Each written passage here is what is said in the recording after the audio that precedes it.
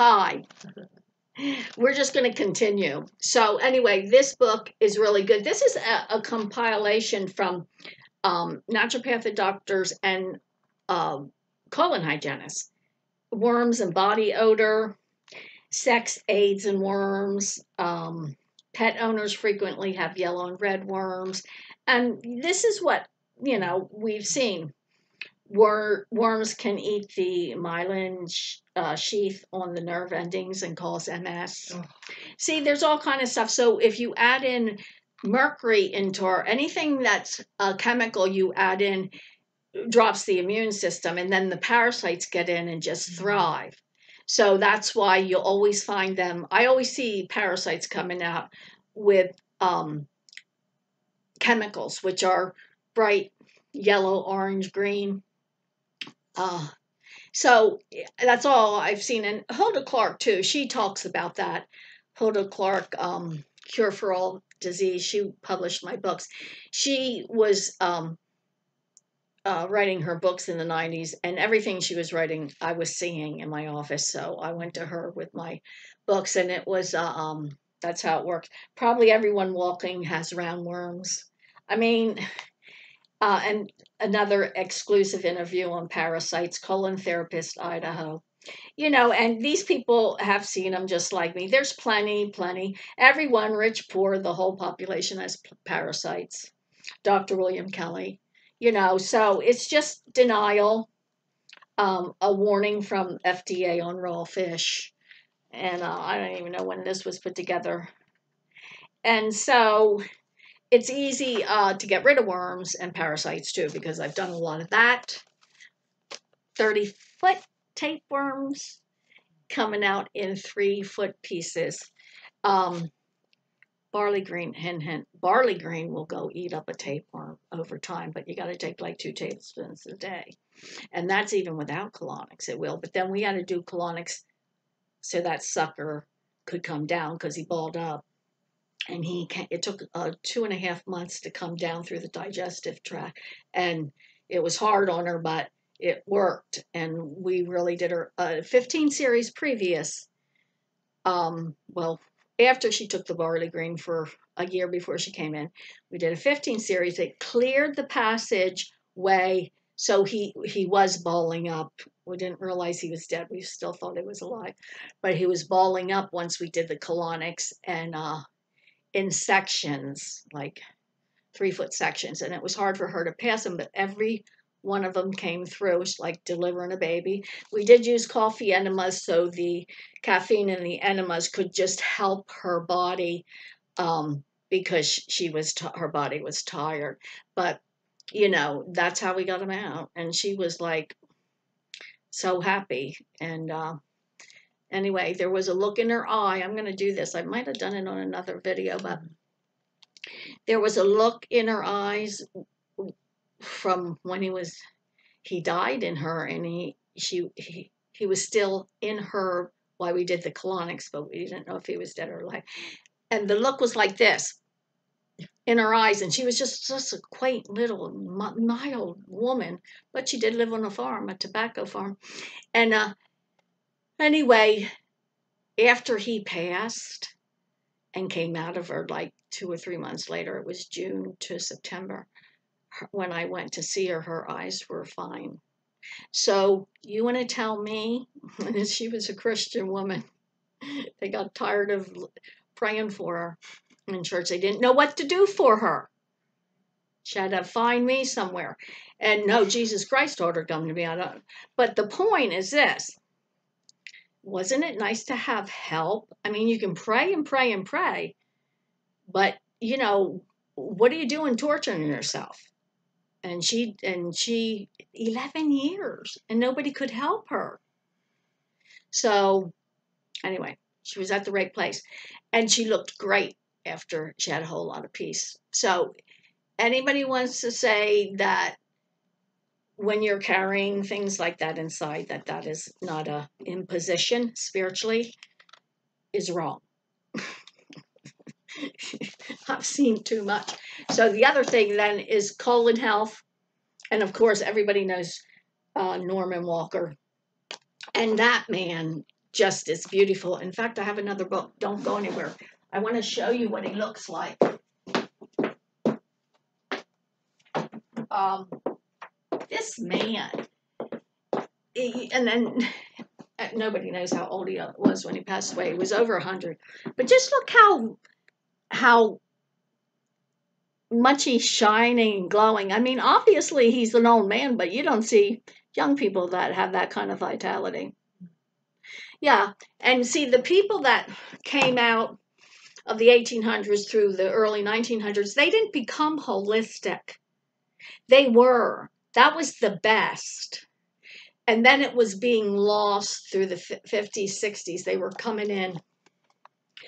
I really believe whatever experimenting they did in Germany and in Europe uh, with injections and drugs and all that was uh, became our new medical. Sorry, and that it, that's when it came in too, right after the war, because these guys right here were getting pushed out, but you know they still were the purveyors, and that's what we are. We're the purveyors of the truth. That means God is not does not let anything that He put here get taken out. So that's why you'll see people that, you know, are, uh, I don't even want to say, I don't like say, they just work for themselves. They work different, but it's not the masses, unfortunately, um, that they're leading. And maybe it will be soon um, when Christ is on the earth. Maybe that's what we'll be doing. Anyway, uh, another book that I thought was really good. Um, I can't read backwards. Amazing Medicines the Drug Companies Don't Want You to Discover by the University Medical Research Publishers. Okay, and this book, sometime, the effective in preventing eye disease and improving retina. So it's basically this the same kind of ideas and approach that these other books have had, only this came in as something new. Um, because of, I'm trying to look at a, a date in here, because that's how it is. Uh, you know, we think we're holistic. Um, that's what's so funny. Um, oh, 1993, we were becoming holistic again. Well, we never lost it. Because 1993, I was doing what I'm doing now, and people were hadn't come to the place where they are now, where they're really not healthy and they have conformed to over the counter drugs and all kinds of poisons. So, anyway, um, this book came in and was like um, not reinventing anything, but the holistic community people think is new. It's not. And I wouldn't even consider myself. Biogenic is biogenic healing process is what was the name since the beginning of time. Biogenic, that means it's it's natural, organic with organic. You don't mix organic with chemical. It doesn't work. I don't care, it doesn't work. Um, that's really what's hurting people. So, um, biogenic. I don't consider holistic. Too many jokes about holistic and, you know, woo woo and all that. And that's not even true. There's a lot of good people in there uh, doing the best they can do. But if you don't clean the bow, the holistic um, community doesn't really clean the bow. They think I'm woo woo. so then that's a shame because, oh, you know, they could use it. you know, but they'll do just um, other things like supplements and stuff. But I want to just tell you, you can't get what I see come out of people with supplements, and um, you can pray. You can pray, and that'll be helpful. But putting the reed up the hinder parts and removing all manner of disease out through the bowel is what God says in the Dead Sea Scrolls. He made us that way. And really, what happens is it's the demand supply, it's gravity it's demand supply. Every one of our machines in in our homes or plumbing is the modeled after our bodies. Think about that. Where'd they get that idea? Um, hot water heaters, um, oil, the way they do oil changes, what cars need. That's demand supply, and you got to clean it. Why did we know to do that there? We got that from somewhere. We got it from our bodies because people practiced it in life. And then we do all that, but then we don't take care of our bodies anymore. What's up with that? And you ought to ask yourself that because um, it's just been hidden from us. So um, try being a researcher for real, and the internet is not researching. Okay. I just researched um, a product that was a plant, and the FDA said it was plant, it cleans your blood, it was chaparral. But it's very dangerous. it's poison. I was like, how can it be both? well, things can be both. I know it. Peroxide can be like that, but no, no, no, no, no, no, no. When you take it in a little bit in tincture, so there's too much confusion, and the confusion is created to keep everybody confused, so they can't figure it out.